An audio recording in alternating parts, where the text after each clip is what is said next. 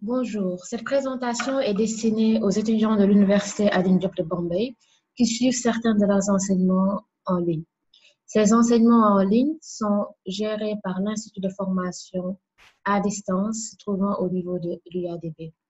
Pour suivre ces enseignements en ligne, l'étudiant doit posséder un ordinateur avec une connexion Internet.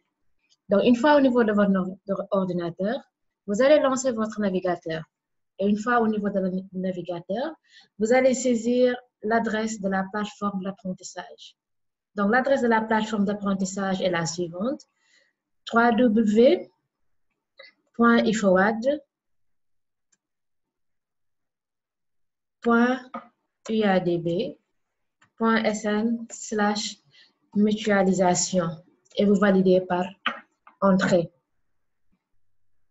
Donc, quand vous validez par entrée, vous avez la page principale de la plateforme d'apprentissage qui vous est affichée. Au niveau de cette page principale que nous appelons page d'accueil, vous avez la liste des différents cours qui existent au niveau de la plateforme. Vous avez à droite les dernières annonces concernant l'Institut de formation à distance. Il y a des nouveautés, des informations à faire passer. Et tout à fait en bas, vous avez une vidéo de présentation de l'Institut de formation à distance. Pour accéder à la vidéo, il suffit de cliquer sur le bouton Lire la vidéo pour avoir une présentation beaucoup plus détaillée sur l'Institut de formation à distance. Donc, vous êtes invité à cliquer sur cette vidéo-là pour avoir plus d'informations. Maintenant, une fois au niveau de cette page, pour accéder à votre cours, vous devez vous connecter. Normalement, chaque étudiant qui doit suivre euh, des cours en ligne doit avoir ses paramètres de connexion créés par l'IFOWAT. Donc, pour cela, vous allez cliquer sur le bouton connexion de la page d'accueil de la plateforme. Une fois que vous cliquez sur le bouton connexion, il y a la page de connexion qui apparaît où on vous demande de saisir votre nom d'utilisateur. Donc, pour mon cas, mon nom d'utilisateur, c'est étudiant. C'est juste un exemple. Ça ne veut pas dire que votre nom d'utilisateur sera étudiant, mais on va vous créer euh, des paramètres de connexion que vous allez avoir après. Donc, je mets mon nom d'utilisateur étudiant et je mets mon mot de passe. Mot de passe par défaut et je clique sur le bouton connexion. Donc, lors de votre première connexion, vous êtes tenu obligé même de modifier votre mot de passe par défaut. C'est un mot de passe par défaut qui est octroyé à l'ensemble des étudiants qui ont un compte au niveau de la plateforme. Par mesure de sécurité, donc, vous êtes obligé de changer ce mot de passe par défaut. Donc, pour changer ce mot de passe par défaut, vous avez ici trois zones de texte. Sur la première zone de texte, on vous demande de saisir votre mot de passe actuel, c'est-à-dire le mot de passe par défaut avec lequel vous êtes connecté sur la plateforme.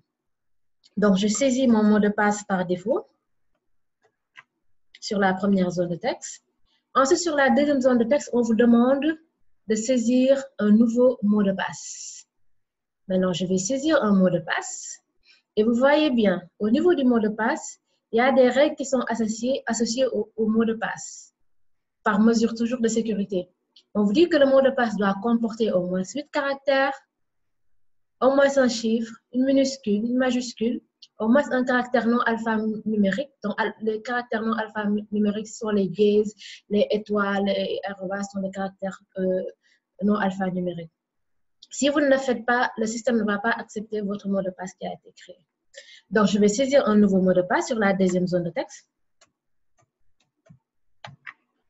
On me demande de confirmer ce mot de passe que je viens de créer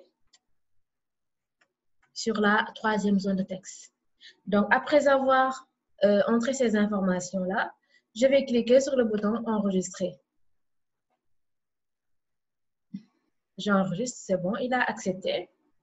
Maintenant, il me demande de continuer pour valider ces modifications apportées. Donc, quand vous cliquez sur euh, Continuer, votre tableau de bord vous est affiché.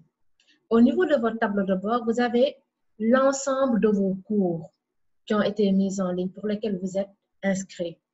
Pour le moment, en tant qu'étudiant, je n'ai qu'un seul cours. Un cours de tech qu'on a nommé licence 2 D2A WTech, Donc, c'est un cours de tech destiné aux étudiants, aux étudiants de la L2 en développement web. Maintenant, pour accéder à ce cours-là, je vais pointer mon curseur sur le nom du cours et faire un clic gauche pour accéder au contenu du cours.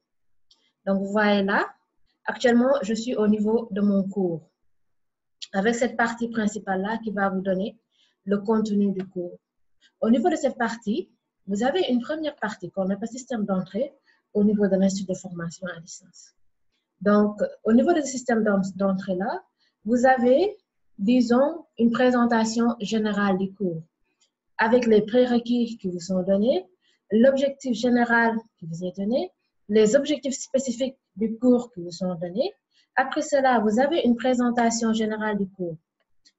Donc, pour euh, cette présentation générale du cours, vous avez deux formats de fichiers.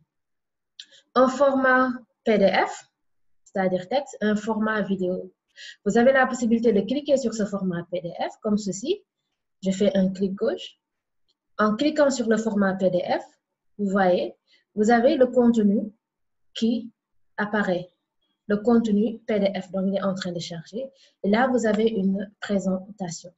Et vous avez la possibilité de télécharger ce fichier PDF-là et de l'enregistrer au niveau de votre ordinateur. Maintenant, je retourne en arrière pour revenir à mon cours. En plus de ce format texte PDF, vous avez un autre format, comme je vous l'ai dit, pour la présentation, un format vidéo. Donc, pour lire la vidéo, vous allez cliquer sur le bouton « Lire la vidéo », comme ceci.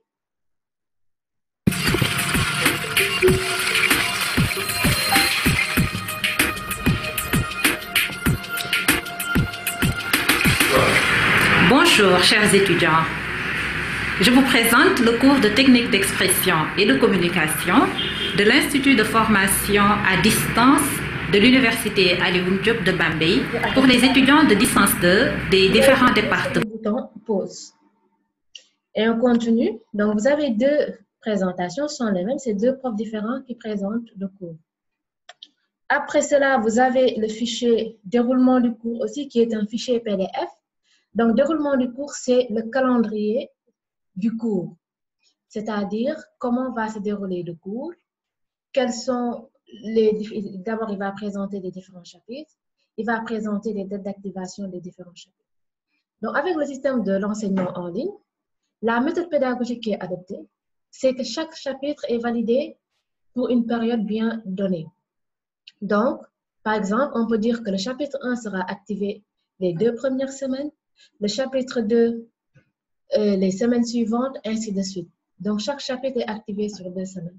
Et pour chaque chapitre, donc, vous avez le test de connaissance associé à ce chapitre, vous avez les travaux dirigés associés à ce chapitre et vous avez les heures de tutorat. Les heures de tutorat, c'est quoi? Ce sont les séances où vous avez la possibilité de communiquer directement avec le prof responsable du cours. Donc, pour cette communication directe, ça va se faire toujours via cette plateforme-là avec une ressource qu'on a appelée classe virtuelle que vous avez au niveau de l'écran. En cliquant sur classe virtuelle, donc, vous, avez la possibilité de communiquer directement avec votre prof. De ce fait, vous pouvez poser vos questions par rapport au cours. Si vous avez des choses que vous n'avez pas compris, c'est l'occasion de poser des questions, c'est l'occasion de poser le débat. Et pour accéder à cette classe virtuelle-là, il suffit juste de cliquer sur la ressource classe virtuelle et vous voyez, pour participer au chat, vous allez cliquer sur la première option, cliquez ici pour participer au chat. Donc, je retourne en arrière. Donc, après cette ressource classe virtuelle-là, vous avez un autre espace, espace d'échange. Donc là, c'est un forum de discussion. Donc, ce n'est pas direct au niveau de ce forum de discussion-là. Donc, ça veut dire que cette discussion se fait en différé. C'est-à-dire, un utilisateur, ça peut être le professeur, ça peut être un étudiant, peut euh, choisir euh, de publier un sujet. Et les personnes qui sont intéressées ont la possibilité de discuter sur ce sujet-là, d'échanger sur ce sujet qui a été fourni. Donc, après le système d'entrée-là qui consiste à présenter le cours, maintenant, nous avons euh, la partie concernant le système d'apprentissage en tant que tel. Quand on dit système d'apprentissage, ce sont les chapitres. Donc, le système d'apprentissage est, divisé en plusieurs séquences. Donc, quand on dit séquences, ce sont des chapitres. Donc, au niveau de ce cours-là, de la licence 2, vous avez quatre chapitres. Et chaque chapitre correspond à un numéro, comme vous le voyez ici. 1 va correspondre au chapitre 1. Quand on clique sur le bouton 2, on va accéder au chapitre 2. Le bouton 3, chapitre 3. Le bouton 4, chapitre 4. Et on revient à notre chapitre 1. Donc, au niveau de ce chapitre 1-là, vous avez le titre du chapitre qui vous est affiché.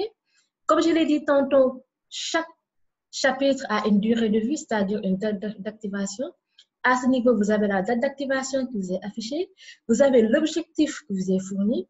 Et vous avez le nom du professeur qui vous est affiché. Et par rapport au contenu du cours, les contenus du cours sont effectués sous format vidéo également. Donc, pour lire un contenu, vous allez cliquer sur le bouton Lire la vidéo. Sinon, vous avez aussi la possibilité d'avoir le fichier PDF du cours, comme ici. Donc, vous voyez, quand vous cliquez ici, vous avez le contenu PDF du cours et vous avez la possibilité toujours de télécharger ce contenu PDF. Vous avez la bibliographie associée au cours, vous avez le glossaire, associé au cours. Donc, après cela, il y aura aussi la ressource test de connaissances qui sera affichée. Il y aura également la ressource euh, travaux dirigés qui sera également euh, affiché. Et pour remonter, toujours pour voir euh, le contenu, ce que nous avons au niveau du contenu du cours, vous avez un module utilisateur connecté. Au niveau de ce, de ce module-là, l'ensemble des utilisateurs, quand je dis utilisateurs, sont les étudiants, sont les professeurs qui sont connectés à ce cours, sont affichés à ce niveau-là. Et là, vous avez la possibilité de communiquer directement de manière synchrone avec les utilisateurs qui sont connectés. Et si vous avez fini de consulter votre cours, d'accéder aux différents contenus de votre cours, vous êtes invité maintenant à vous déconnecter. Pour vous déconnecter, vous allez cliquer sur la flèche tout à fait en haut, la flèche orientée vers le bas. En cliquant sur cette flèche, il y a un menu contextuel qui vous, est, affiché. Au niveau de ce menu contextuel-là, vous allez cliquer sur le bouton déconnexion pour vous déconnecter de la plateforme d'apprentissage. Donc, on vous conseille à chaque fois que vous avez fini d'utiliser votre plateforme d'apprentissage de vous, de vous déconnecter par mesure de sécurité. Donc, c'était tout pour euh, la présentation de cette plateforme-là. Et décidé un peu vous guider, vous montrer comment utiliser la plateforme pour une première fois. Et si vous avez euh, des blocages par rapport à l'utilisation, n'hésitez pas à venir au niveau de nos locaux pour avoir plus d'éclaircissements sur l'utilisation de la plateforme. Nous vous remercions.